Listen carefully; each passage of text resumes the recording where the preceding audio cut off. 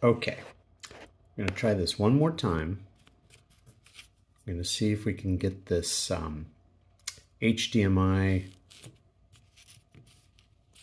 expander card, uh, option board, I guess you'd call it, to work on our 35 watt uh, G2.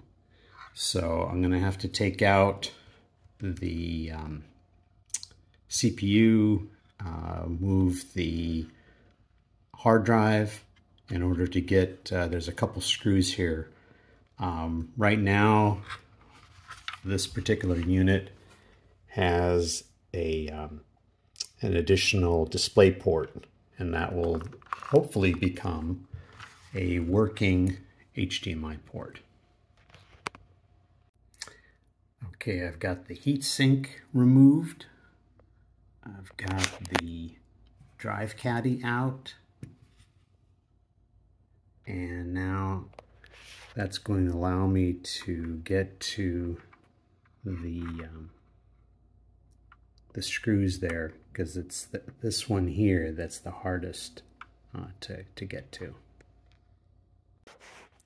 Okay, the new one is in. There is our HDMI port.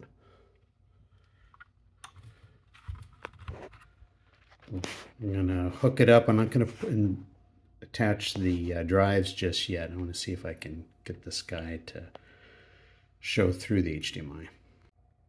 Well, ladies and gentlemen, we have HDMI hooked up and we have video. All right.